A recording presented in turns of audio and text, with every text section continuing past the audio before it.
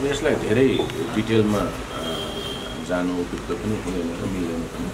र त्यसमा केही टेक्निकल कुराहरू हुन्छन् टेक्निकल कुराहरू विशेष गरी यो सहरतिर भन्दा गाउँतिर र विशेष गरी यो डाँडा काँडा भएको स्थानमा हामी पनि हाम्रा पनि केही सीमाहरू हुन्छन् र ती सीमाहरूका कारणले गर्दाखेरि हामी हामीलाई प्राप्त इन्फर्मेसन टेक्निकल इन्फर्मेसनको आधारमा फोकस भयो। टेक्निकल इन्फर्मेसनकै आधारमा पछाडि हामीलाई जानकारीहरू त्यो एरिया पनि चाहिँ त्यो रेन्जमा पर्ने नभए सामान्यतया हामी के हुन्छ भने कुनै ठाउँ देखिँदाखेरि त्यही ठाउँ भन्ने हुन्छ। तर पाहाड भएका कारणले कहिलेकाहीँ चाहिँ अलि लामो डिस्टेन्सहरू पनि सम्पर्कमा आउने भएर चाहिँ अलिकति त्यो चाहिँ अस्ति त्यो देख्नु भयो बोतल देखाउनु भयो नि। जस्तो झोला चाहिँ दिदीले घरमा थियो भन्ने कुरो लगभग क्लियर गर्यो त्यो बाबुले चाहिँ त्यो पतेरोको बिचारियो भन्ने चाहिँ कसरी चिनेको रहेछ? के थप उसमा चाहिँ के बुझ्नु भयो होइन त्यो चाहिँ अब किसान हुनुहुन्छ उहाँको बुवा।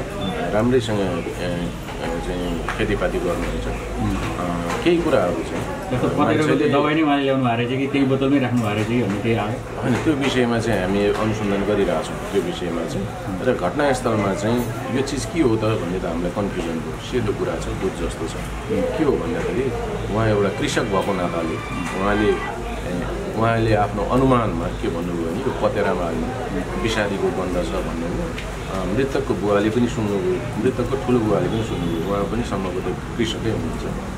त्यस्तो बिचारी घरमा भएको नभएको या कतैबाट किनेकोमा अनि हामीले त्यो विषयमा अनुसन्धान भइरहेको छ। जस्तो अब भिसेराको कारण चाहिँ त्यो कस्ट पेन्डिङ भएर बसिरहेको छ अब यो भिसेराको चाहिँ अनुसन्धान चाहिँ अब च्यानल सेड्युलमा जाने भने अहिले अबेला हुन्छ। यसलाई चाँडो गराउने प्रक्रियामा चाहिँ छौँ कि के छौँ या कहिलेसम्म आएको के छ हामीले चाँडो गर्ने प्रक्रियामा छौँ अब त्यो त ल्याबको कुरा हो कहाँ छ कुन ल्याबमा देखाउँछ हामीले खुमल्टाहरू स्थित सर सर जस्तै त्यो के उहाँले सुनिता भण्डारीले चाहिँ मलाई अपहरण गर्यो भनेर चाहिँ भनेको कुरा चाहिँ त्यो चाहिँ खासमा तपाईँको चाहिँ यहाँहरूले हेर्दाखेरि चाहिँ त्यो उसले भनेको अथवा उनीहरू दिदीबहिनीको बिचमा कुराकानी भएको देखि देखिन होइन कुराकानी भएको छ कुराकानी भएको छ र अब त्यो विषयमा चाहिँ हामीले मैले अघि पनि भने पीडितले दिएको इन्फर्मेसनहरू हामी पुरै महत्त्वको साथ अनुसन्धान गर्छौँ।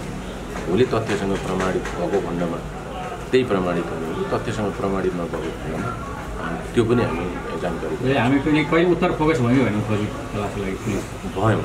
हामी हाम्रो फोकस गर्नुपर्ने ठाउँमा चाहिँ हामी। परिवार मेम्बरहरूलाई लिएर हामी गएको छौँ। जस्तै अब अहिले चाहिँ त्यहाँ- त्यहाँको चाहिँ भनौँ न भने उयो स्थानीयहरूले चाहिँ तपाईँ दिनौँ जस्तो प्रदर्शन गरिरहेका छन् होइन? प्रहरीप्रति अलिकति थोरै विश्वास अथवा चाहिँ खासमा हामीले न्याय पाइँदैन कि भनेर चाहिँ उनीहरू आन्दोलन गरिरहेका छन्। अब अब यसबारेमा चाहिँ तपाईँ के भन्न चाहनुहुन्छ?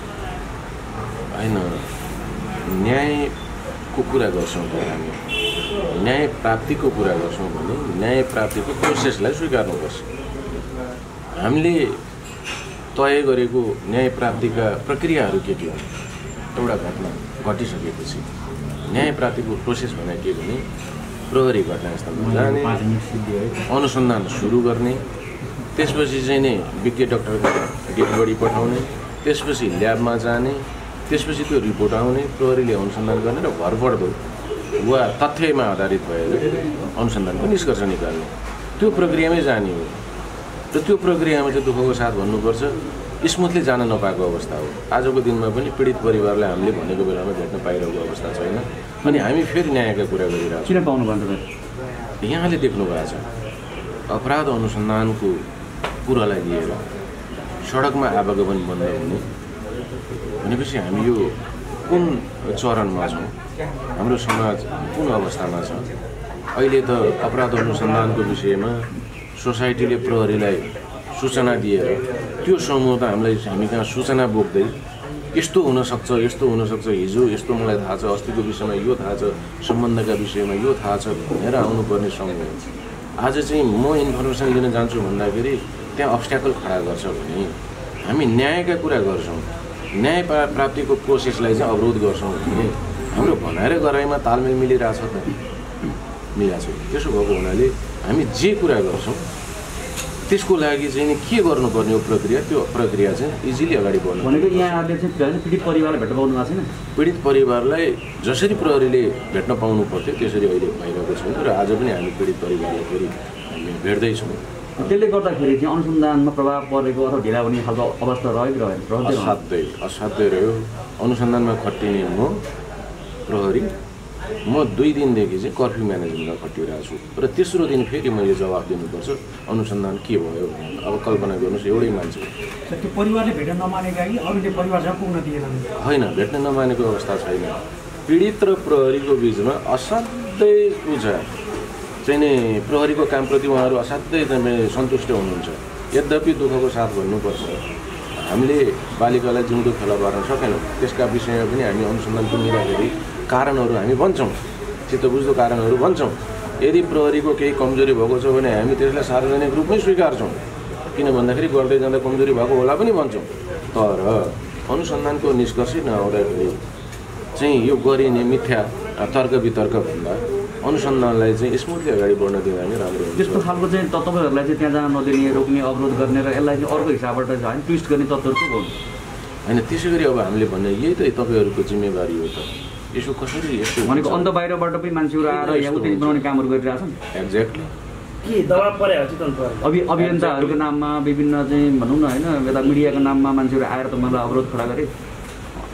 छोटो भाषामा भन्नुपर्दा काठमाडौँमा फ्लेक्स प्रिन्ट छापेर पोको पारेर ब्यागमा हालेर प्लेनबाट ओर्लेर अनि अघिल्लो दिन गएर कुनै गाउँमा पास बसेर अनि त्यहाँपछि चाहिँ नि समूह तयार गरिएको हुन्छ।